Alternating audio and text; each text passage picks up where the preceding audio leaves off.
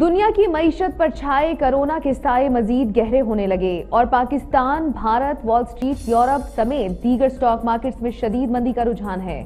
سرمایہ کاروں کے اربوں روپے ڈوب گئے۔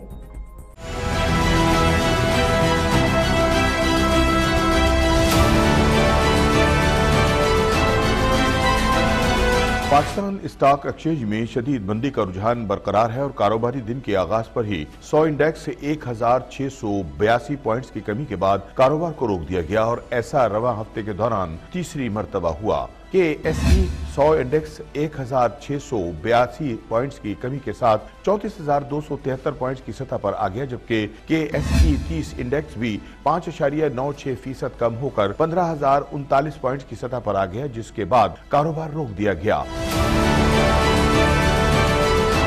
سے قبل ایک رپورٹ میں بتایا گیا تھا کہ کرونا وائرس کے خطرے کے پیش نظر محفوظ راہ تلاش کرنے کے لیے غیر ملکی سرمایہ کاروں نے گزشتہ تین ہفتوں کے دوران اپنے عارضی سرمایہ یعنی ہاٹ منی کا تقریباً چھٹا حصہ ٹریجری بل سے نکال لیا تھا۔ ادھر وال سٹریٹ میں انیس سو ستاسی کے بعد سب سے شدید بندی کے بعد ایشیائی مارکیٹ میں بھی کمی آ گئی، جہاں جاپان، تھائی لینڈ اور بھارت کے بینچ مارک میں دس فیصد تک کمی دیکھی گئی۔ بینکاک اور بمبئی میں تجارت کو مارکیٹ میں دس فیصد تک کمی آنے کے بعد عارضی طور پر روک دیا گیا تھا۔ تجارت کے بحال ہونے کے بعد تھائی لینڈ میں ایس ای ٹی سو چھ اشاریہ آٹھ فیصد اور بمبئی کے سینسیکس میں چار اشاریہ نو فیصد کمی آئی۔